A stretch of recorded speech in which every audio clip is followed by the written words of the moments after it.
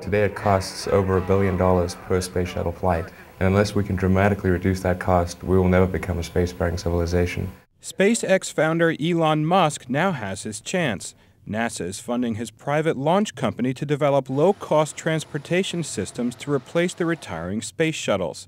NASA officials say this makes good on the agency's promise to partner with entrepreneurs to expand the next frontier. You are getting the first traders along the Mississippi now.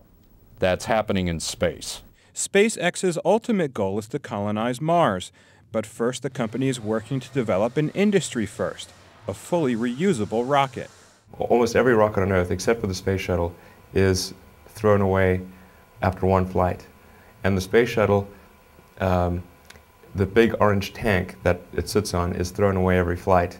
The reusable rocket has other cost-saving features. SpaceX's Falcon comes ready to fly instead of being assembled on the launch pad. This is analogous to, buying, to building part of an airplane in the factory and part of the airplane on the runway.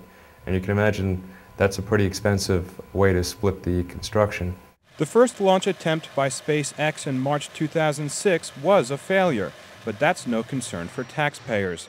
Under the new NASA contracts, if these companies don't succeed, they won't get paid.